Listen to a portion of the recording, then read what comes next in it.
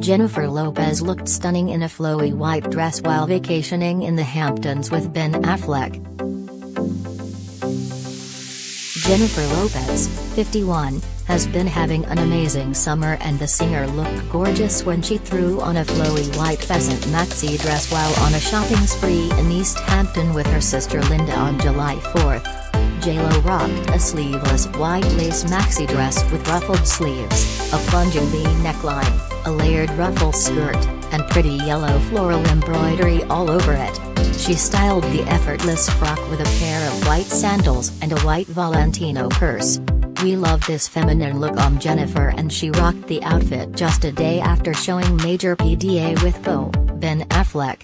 On July 3, the happy couple went for a stroll when J-Lo rocked a tan crewneck sweatshirt with a pair of baggy tan Brunello Cucinelli pants, Jennifer Fisher two-thread hoop earrings, and Rene Caovilla extra embellished gold sneakers. Jen and Ben have been hot and heavy ever since they rekindled their romance and we love seeing the couple happy together. They've been spending every day together and on June 2nd they went to Universal Studios in LA with their kids, Ben's son Samuel, 9, and Jen's daughter Emme, 13, and son Max, 13.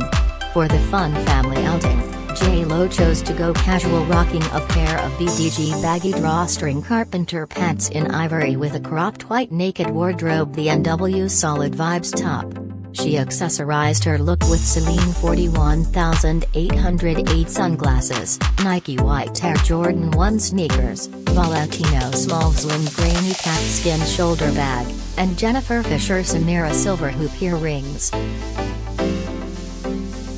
When it comes to Jen and Ben, they just can't seem to get enough of each other. On June 25, the pair looked madly in love as they dined at Greek restaurant Avra in Beverly Hills. For the occasion, JLo threw on a pair of caramel Alexander YSH0 orts with a white Brunello Cucinelli blazer and Femelle Luca Mananelli sandals. Related Gallery Affleck and Jennifer Lopez's timeline, from engagement to split and reunion 17 years later.